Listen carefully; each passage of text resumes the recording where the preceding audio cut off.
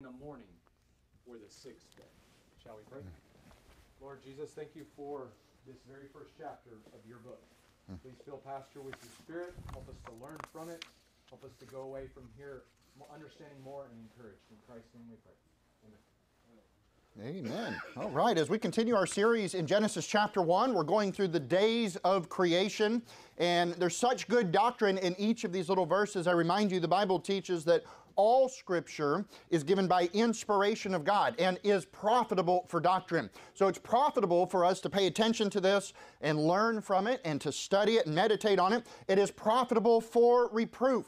It is profitable for correction and instruction in righteousness. There's so much that we can learn from these few verses. And so I trust that today, as we go through day number three, we're going to learn something. Now, as we finish the chapter, as Brother Chad was reading it, you notice at the end of chapter one, it does say that the herbs and the fruit, the trees, the grasses, those were for meat. That was the food for the animals and the humans in the day that God created all of that. So, if you just kind of a recap, in day number one, we know that God gave us the heavens, the earth, there were waters that were present. We had darkness and light. We had day and night. There was good. He said it was good. Uh, there was time, space, and matter, all wrapped up in one in the first day. The second day, we see that he began to separate the heavens uh, with the waters. There's waters and heavens, and uh, we learned that there are three distinct heavens taught in the Bible. We also touched on the canopy theory that there was a canopy of water surrounding the earth that perhaps changed how things were after the great flood. God did break open uh, the deep and also drop waters from the heavens. So we touched on all that on day one and two. Day number three, we're going to see the dry land is created. We're going to see the seas and also all the vegetation. I, I wrote a note here, make it real easy for everybody. Uh, dirt and seas and veggies. Now, if I could get everybody, and I mean everybody, to say that with me. Day number three, dirt and seas and veggies. Let's try it again. Day number three, dirt and seas and veggies. All right, very good. Somebody's awake. If not, I hope that'll wake you up. I might test you. If, if I see you falling asleep, I'm going to startle you, call you out by name, and ask you, but the answer is on the board. So if, you, if that happens to you, you know where to look for the source. Okay, uh, speaking of the source, let's go back to the word. Genesis chapter 1, we're going to read verse number 9. Genesis 1, verse number 9. And God said, Let the waters under the heaven be gathered together in one place and let the dry land appear, and it was so. Now, when it says in verse number nine, if you look at it, uh, does it say the waters are above the heaven or below the heaven? Because we touched on the different waters in our illustration here. Uh, remember, there was the canopy, there was also waters above the farthest heaven we saw in Psalm 148. But here, what waters are we dealing with? Are we dealing with the waters in the heavens? Look what it says. And God said, Let the waters under the heaven be gathered together into one place, and let the dry land appear. And it was so. So he's gathering all the water together in one place. This is on the face of the earth as it's becoming. Continue in verse number 10. He gives us that name. And God called the dry land earth. And the gathering together of the waters called he seas. And God saw that it was good. So here earth begins to take shape uh, it's beginning to be molded by God's hands. I mean, I could just visualize taking uh, lumps of clay or Play Doh as a man and forming it and trying to copy what God has created. Could you imagine trying uh, what we perceive as the different layers and levels and the grasses and, and everything that He's going to create? Boy, it would take us some time. And this is not just God sort of grabbing stuff and randomly twisting it to see what happens. No, this is by design. This is very intentional. I imagine volcanic activity uh, beginning to boil up and surface and uh, pushing things to the top and the dirt moving, rocks and crystals forming as it happens, the different layers, the mountains, the hills, the valleys. We see all of those things. And but then it's displacing the water, and God calls the systems of water on the earth, God calls them seas. What was on day number three? Help me out. All right, all right, dirt and seas and veggies. All right, let's try it one more again. What was on day number three? Dirt, dirt and seas and veggies. So here God pushes the dirt up. The water's displaced. That water is called seas. Now, interestingly enough, we in our super intelligence as human beings, we've come up with new terminology. And we say, no, no, those aren't seas, those are oceans. And then there's seas, and then there's lakes, and there's ponds, and there's streams, and creeks, and yada, yada, yada, running down the road. All right, so, but, but God called it all seas to begin with. Now, He does use the word rivers and ponds and you know, things like that. But I just want you to know the system He does initially begin to call seas. The word ocean is not in the Bible, just like dinosaur is not in the Bible. That doesn't mean they don't exist. That just means man has come up with a new term to label what God has already created. So uh, be clear when God does say seas, it's not that there weren't any oceans, but today what we call oceans, God in the beginning called seas the dirt and the seas and the veggies. So everything comes uh, to form. Uh, in Isaiah 45, he says, Thus saith the Lord, that created the heavens, God Himself that formed the earth and made it. He hath established it, He hath created it not in vain. He formed it to be inhabited. Why did God create the earth? To be inhabited. God knew what He was doing. Man wasn't an after plan, man was the original plan. God had a plan. And again, imagine if you're kneading dough, right? So you ladies that make bread, and some of you uh, uh, young adults that make cookies, right? There's usually bubbles that form in the dough and you have to get it out, right? Well, in the same way, I believe subterranean, we began to have uh, different caves and chambers and geological formations. There were different things that happened uh, hollows and caverns, crystals, aquifers with water. There's all these different things happening below, even especially where the lava is at. There's nat- natural gas reservoirs. So as God brings all this together, I mean, we look down and we see dirt, and we're pretty simple. But if we could keep going, soon we would find something different, some certain rocks and crystals and minerals, and then perhaps we would find water, and then we would find gases that were flammable or deadly to us, and then we'd find lava and so on. And there's so many things below us that we can't perceive, yet they're there, and that's how God began to put things together. And I say all that because this is precision. This is precise design with a purpose. He lays the foundation. He begins to create something. There's a system of how the water brings the minerals down, and the water through the hydrological cycle will purify itself and eliminate some of the toxins that we don't that we shouldn't be drinking. So God has a system in design as He's bringing this together. Yea, it's called intelligent design. Is one label that does accurately fit.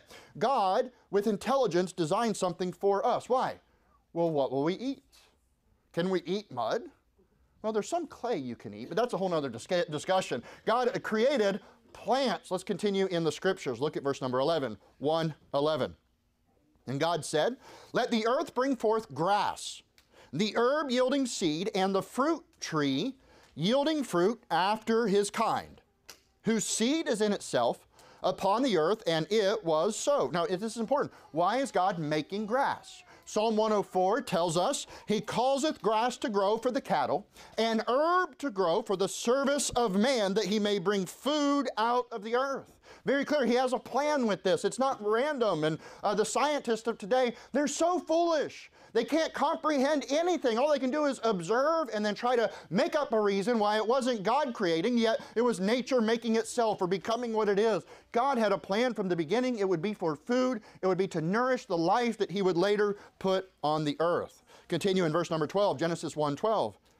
And the earth brought forth grass, and herb yielding seed after his kind, and the tree yielding fruit, whose seed was in itself after his kind. And God saw that it was good. And the evening and the morning were the third day. So God sees that it's good. Again, but what does He give us? Grass and herbs and trees. We have seeds and we have fruits for our meat. This would be our food. This would be to sustain us and nourish us. I want to focus on something here. In Genesis 1.11, that's 111, three ones, all right? Uh, ooh, what's God up to here? This is unique, right? Uh, but there's a new word that he introduces here in Genesis 1. We'll see it more. And I want to lay a foundation today as we'll keep reaching back to this. He introduces a new term, kind. You see it? Look at it. It says, after his kind. Everything, the grass, the herb, the trees, it says, after his kind. What does that mean? Listen, today we have scientists that don't believe in this. This one word is very simple, uh, but the grasses, the herbs, the trees, the fruit, the seeds, it's a kind. And only certain kinds can create the same kind. And one kind cannot create another kind. This is so important, it should be a no brainer. cats and dogs do not make cogs or dats. We know that. Is there any, is there any kids that are confused on that? Cats and dogs can't intermingle, they are different kinds. We'll tell that to the scientists because they can't quite figure that out. It goes with plants as well. Now, strawberries grow low in the straw. Boy, I love strawberries. Maybe if we could intermingle it with bamboo, then it would be tall berries and we could just, you know, pick them and grow them like that. It doesn't work that way. You can't do that. These are different kinds. It's a genus and plants, and there's, uh, but the thing is, the word they use to attack it is species.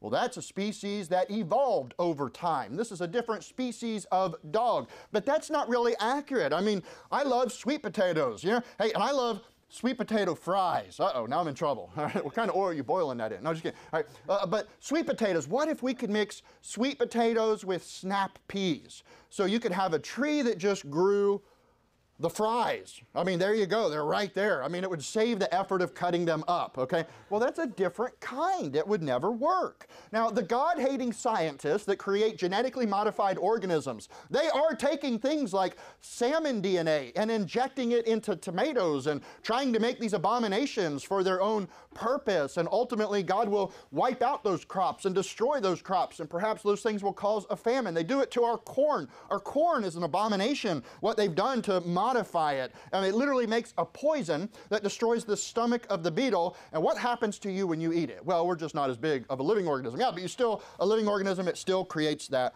poison. Plants and animals can only reproduce after their kind. And it's interesting, I just had somebody this week share this with me. This was a gift. Does anybody know what this is? Keep, not a pomelo, not a grapefruit.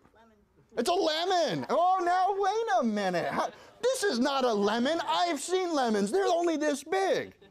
Well, what did they do? I know they mixed a cantaloupe in a lemon. Does anybody think that's true? No, not true. This is, I, I, call it a Goliath lemon, but that's not really what it is. All right. This is a Ponderosa lemon.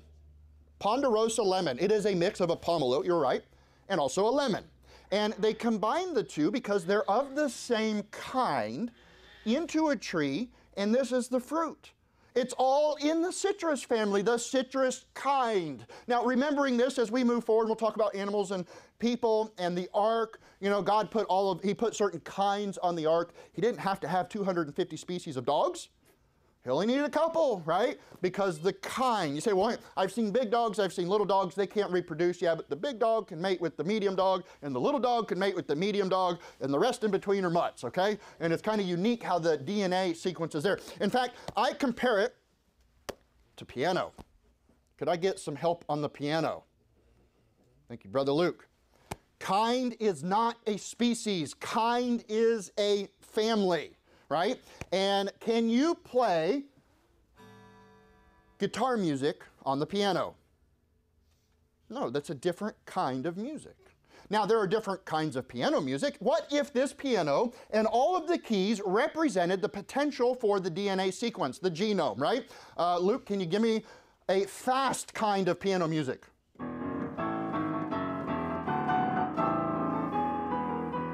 That's good. All right. All right. Who taught you that? Brother Jake. Oh, okay. All right. All right. now, what if we needed a really slow and dramatic and emotional kind of piano music?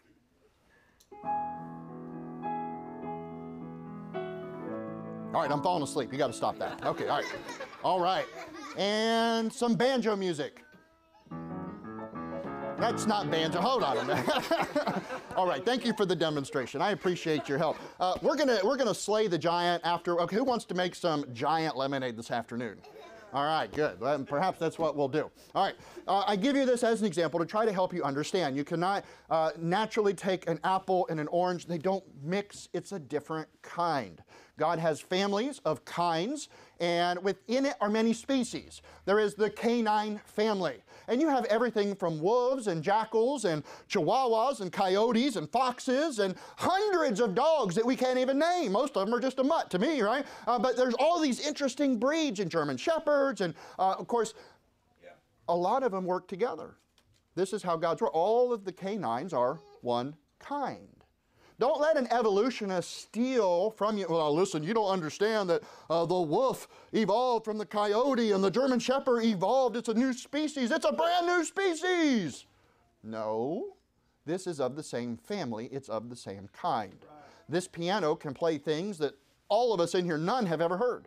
It has the potential in the keys, it's up to the order of the sequence. Think about it. It's how it's organized and ordered. There's so many keys here. There's so many options. Is this one on or is this one off? What's the sequence? And hey, that's up to the Creator, isn't it? So God has created things with many different potentials. And so I want you to remember that. Go to Genesis chapter 2. I want you to remember, though, that a species is not what they tell us, that we need to remember the kind. Species does not equal kind. God created kinds. There are many different kinds of human beings, and humans can mate with humans. There are many different types uh, of primates, of apes, and apes can mate with apes. But guess what? The two don't work. Now, in certain families like horses with donkeys, you have some very unique things, but what you'll never see is things mating outside of their kind. They cannot reproduce after their kind. Their seed is in them, the programming is in us. That's how God made us. There is systematic order and precision to the design in everything that God has made. You're in Genesis chapter 2, find verse number 4. Genesis chapter 2, find verse number 4. These are the generations of the heavens and of the earth when they were created in the day that the Lord God made the earth and the heaven. He's giving us the generation or the accounting thereof, right? Verse 5, he says, And every plant of the field before it was in the earth, and every herb of the field before it grew. Now, wait a minute. God says there was a plant before it grew, there was an herb before it grew. What's he saying here? And listen, Genesis chapter 2, this is not a uh, recreation account. This is the account of what God did, but He's trying to tell us something. He's given us a second witness. He's giving us some uh, knowledge to go along with it. Before it was made in the field, it was made in the mind. Before they build a bridge, it starts off in somebody's mind, doesn't it? Before this piano was manufactured, it started out as some blueprints. Somebody had the idea. It was created once in the mind, and perhaps it's created on the paper, and then it's made in the flesh, and we can see it manufactured of the resources given to us on earth. Well, God did the same thing. He had a design full of intelligence, it was very specific. He put it in order.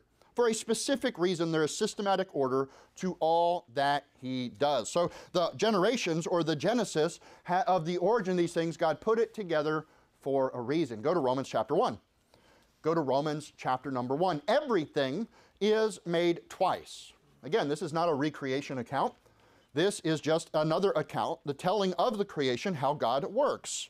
Everything starts in the mind with us, and then we make it with our hands, and so did God. He had a plan from the very beginning. Christ was not a plan B, Christianity was not a plan B. Man was not another. God knew from the beginning what would happen and when the flood would happen. And He knew you before you were formed in the womb. He's the Father of spirits. He knew how long you'll live. He knows how many hairs are on your head. He knows it all. You can't hide anything from God. Yeah. And yet He creates us with a choice, the free will, to choose to believe in Him and to choose to worship him. But scientists are not so. Uh, evolutionists have a wicked heart toward God. They reject the God that they know is true. Romans 1, find verse number 19. Romans chapter 1, find verse number 19. Because that which may be known of God is manifest in them, for God hath showed it unto them. They know, they're born with light. For the invisible things of him from the creation of the world are clearly seen, being understood by the things that are made, even his eternal power and Godhead, so that they are without excuse. God knows what he's doing. He had a plan, he made it happen. God is awesome, right? But verse 21 because that when they knew God, they glorified him not as God, neither were thankful, but became vain in their imaginations, and their foolish heart was darkened. Professing themselves to be wise, they became fools. He's saying they had dreams, these vain dreams of other things. They wanted to reject God and they used their imagination of evolution. And it says, professing themselves to be wise. They, they are professors of evolutionary science. And God says they are fools. They're claiming that something else made them. They're claiming that nothing made something. They're saying nature made itself anything but God made me. Because if God made me, well, then I have to answer to Him, don't I? We are responsible to our Creator. And, you know, denying that God created your soul does not change your fate with Him. It does not change the fact that you have an eternal fate. You must stand before God. Look at verse 23. And change the glory of the uncorruptible God into an image made like to corruptible man and to birds and four footed beasts and to creeping things. Well, now this is getting interesting. They're taking the thought or the concept of God, of who He is, and they're changing it into something it's not. Uh, we know that idolatry has always been a problem. We're making God in our own image. We're making uh, the, the one true living God into a statue, a carving, a, a brick, a rock, something that He is not. This still happens in many cultures today. The Catholic Church is one of the worst in their paganism. Uh, but we're, we're taking God and making making him something he isn't. But here they, they say, into corruptible man. Like people say that man can become God. Or into birds or four footed beasts and creeping things. Well, into the nature, you're saying that the Creator is really the creation?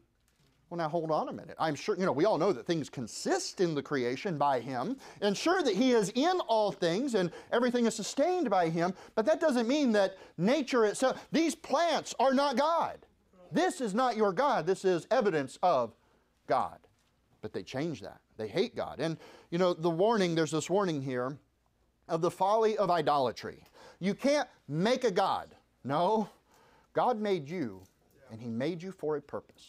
You have a reason. God has a plan for your life. God has a perfect will that if you choose to step inside of, you can have a great ministry for God. Look at verse 24. Romans 1:24. Wherefore God also gave them up to uncleanness through the lust of their own hearts, to dishonor their own bodies between themselves, who changed the truth of God into a lie, and worshiped and served the creature more than the Creator who is blessed forever. Amen. This is earth worship and animal worship, and oh no, we can't bulldoze because there's uh, uh, mites on the beach or whatever. You know, there's some reason. Oh, there's a mouse in the woods. We can't uh, use these trees to heat, heat, up our houses. There's all these reasons they want to worship nature, and really, uh, it's all, it all goes back to idolatry. And you know, evolution is a very dark religion. It's an evil religion, and it's rejecting God in your mind. And when you do that, your mind will become dark. Your heart will become hardened. Your conscience will become seared. Uh, jump ahead to verse number 28. And even as they did not like to retain God in their knowledge, God gave them over to a reprobate mind to do those things which are not convenient. God gave them over to a rejected mind. You want to reject God? Well, God will reject you, and your mind will become dark. If you would go to Jeremiah chapter 2. Go to Jeremiah chapter 2. Evolution teaches that we came from a rock or from a stick or from bacteria. It rained for billions of years on a rock and a puddle turned into mud, and then the mud, something slimed out of it, and that's what we are. Uh, listen to this. They say humans evolved from earlier primates. That's a lie. That is a lie. Uh, the whole, uh, the human DNA is the closest to chimp DNA. I touched on that. Uh, there is an article, and I'll pass around, where they show that they didn't completely fulfill the sequence of the genome, and once they did, they realized there were errors in it because it was polluted with human DNA. So uh, that's a lie that, oh, well, we've been saying it for years and years, and it turns out it's not true 20 years later. We'll just keep saying it. We'll leave that lie in the textbook. That's okay. We're still going to uh, point back to that error. That's the way evolutionary science works. It's a conspiracy. Uh, humans evolved from earlier primates, who evolved from earlier mammals, who evolved from earlier reptiles, who evolved from earlier amphibians, who evolved from earlier fish, who evolved from earlier invertebrates, who evolved from worms. What? Worms? That evolved from mitochondria that originated with common eukaryotic cells, which are shared with plants, by the way. So, this is my granddaddy?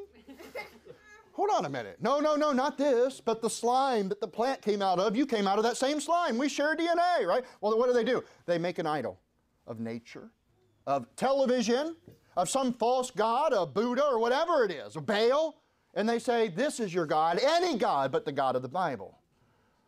Why would they do such a thing? I want you to see this. There's nothing new under the sun. This is just old school paganism. You're in Jeremiah chapter 2. Uh, Jeremiah was given a word by God to go preach it to an evil nation that had rejected God. They were living their own way, and God said, Judgment is coming. I'm going to get you. I'm going to destroy you. Uh, look at Jeremiah 2, verse number 11. Go to Jeremiah 2, verse number 11. Hath a nation changed their gods, which are yet no gods? But my people have changed their glory for that which doth not profit. Be astonished, O ye heavens, at this, and be horribly afraid, and be very desolate, saith the Lord. Listen, oh, a nation changing their gods. Boy, that's what happened to America, isn't it?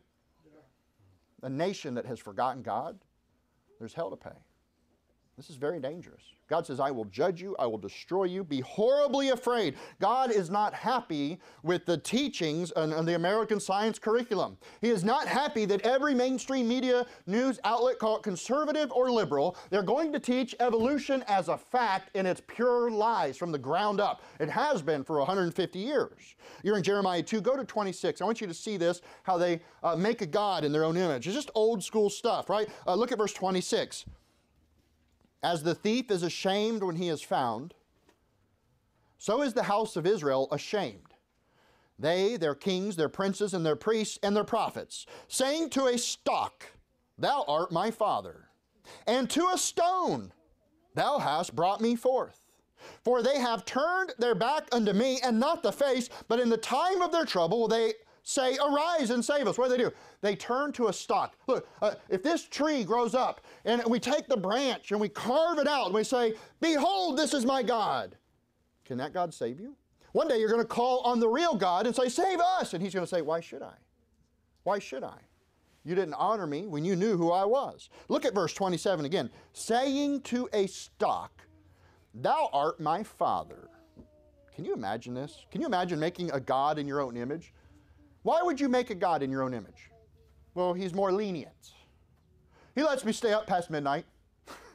he lets me sin however I want and doesn't judge me for it. There's no rules, there's less laws. I don't think God cares if you're married or if you get drunk. That's not the kind of, oh, listen, this is, this is wicked. It's to justify sin. Let me give you an example. Children. Dad comes home. He says, clean up your room or you're in trouble. The kids get together and they say, you know what? We need a new dad. Let's say to this, this stalk, let's say to this wood here, thou art our father. This is our new dad. Dad, can we stay up late? What a great dad! dad, can we have ice cream? Oh, this dad's great! Do we really have to clean up our room or can we live in squalor? Oh, we just love our new dad. They say to a stock, Thou art our father. They call a graven image our God. You know what idolatry is? That's taking God's glory and ascribing it to something that's not. Now, how do you think I would feel if I came home and my children were hugging this and saying, Dad, we love our dad? And I'm like, What is this? Well, that's our dad. Really? Then let your dad pay the power bill. Oh, let your dad, uh, you know, put some food on the table. Think about it. Yeah. This is how angry God got with them because he, they disrespected him. They knew the truth. Every one of us, I mean, we laugh at, oh, sure, come on, that's not a father. Yeah, well, isn't that kind of what they did? Yeah. This is our Father. This is our God. This is our Creator. Oh, this is just a piece of wood. It's a stalk. Think about it. God knows the heart of the evolutionist. God knows what they're guilty of. And it's common because today we in America, we don't really bow down to wood, although there's plenty that do. We have televisions. We, we bow, we, we fold our hands and we bow our face to our phone and we stare at it and we give it all of our attention and adoration and we learn from it and we pray to it and we, oh, if there's an important message, it's going to be found here. And if we need to talk to somebody important, it's going to be found here. Are we elevating things above our Creator? Look at Jeremiah 2:28. But where are thy gods that thou hast made thee? Let them arise, if they can save thee in thy time of trouble. For according to the number of thy cities are thy gods, O Judah. Boy, doesn't that sound like America? There's always some new religion that anybody will give a chance. Anything but the God of the Bible. Anything but Christianity. That's what they've come to hate. If you would go to Revelation chapter 8. Go to Revelation chapter 8. God loves us, He created us for a purpose. Even in the amazing, intricate design of every one of these plants, there's so much information. There's more information in these plants than there is in my computer. or in a camera or anything else that man can make. There's more information in one of these leaves, one of these plants. It's self sustaining, it converts energy, it creates a new form of energy. I mean, it's just amazing what it can do. God is a genius. God is intelligent and He created us with a purpose and He shows Himself to us in everything, especially in nature. You know, maybe that's why there's certain times we feel like I just want to go out in the woods and be alone from this weird world for a minute. I just want to kind of get close to my Maker a little bit, feel a little refreshed. That's natural. That's how God made us. In Revelation 8, if you would go to verse 7, this is dealing with the trumpet judgments at the end of the time when God pours out his wrath. And in the beginning, on the third day, God created the dry land, the seas, the grass, the herbs, the trees. And when he begins to pour out his wrath to really afflict those that think it's okay to worship an antichrist as a God, God takes those blessings away from people. Look at it. Uh, Revelation 8, verse 7. The first angel sounded, and there followed hail and fire mingled with blood. They were cast upon the earth, and the third part of the trees was burnt up, and all green grass was burnt up. God has promised He will never destroy the earth with a flood, but He will destroy it with fire. And that's not this. This is just Him getting started in purging it, right? Uh, verse 8. And the second angel sounded, and as it were, a great mountain burning with fire was cast into the sea, and the third part of the sea became blood. Now, what did God make on day three? Everyone help me. What did God make on day three? The dirt, the seas, and the veggies. In God's wrath, that's what he begins to destroy. He says, Well, you don't appreciate me? Let me take these things away from you, and then let's see who you call upon. Go to Revelation chapter 9. Go to the next chapter, Revelation 9, find verse number 20.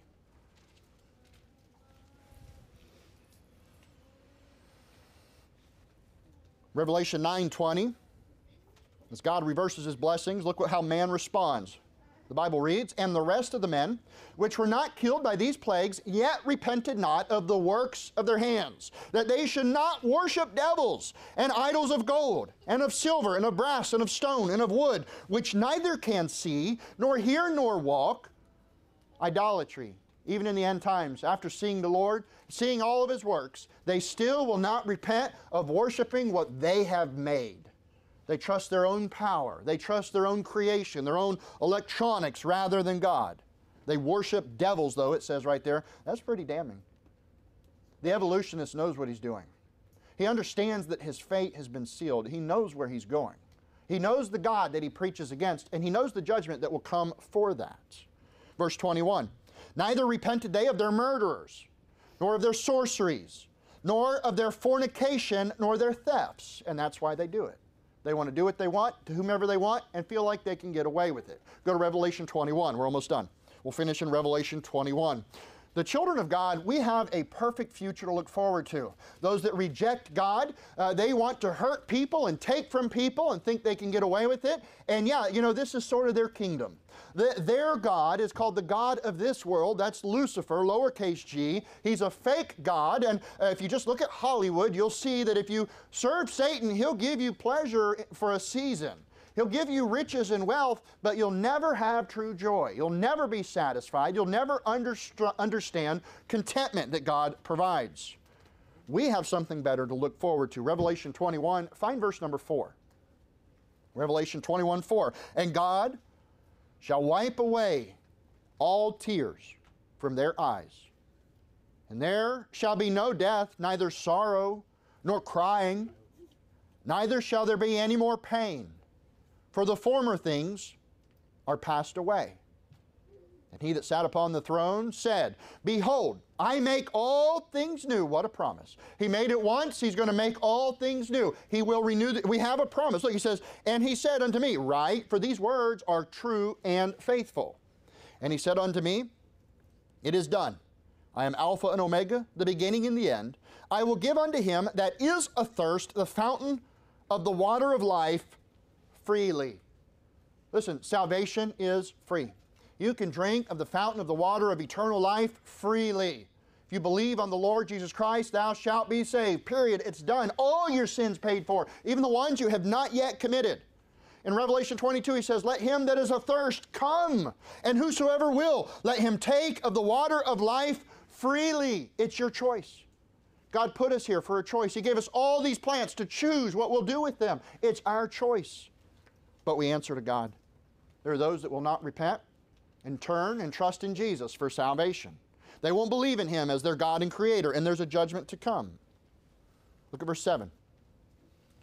He that overcometh shall inherit all things, and I will be his God, and he shall be my son. What a powerful verse when you know what it means.